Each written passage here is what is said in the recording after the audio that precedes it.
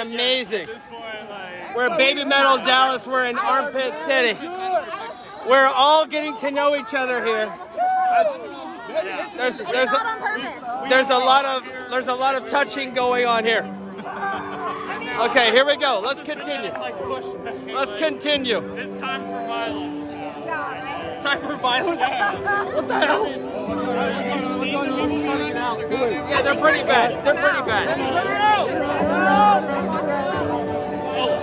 Take new breath. I know, right?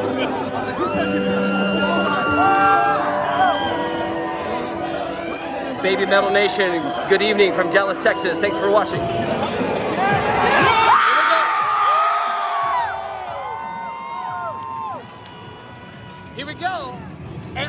Want you to jump.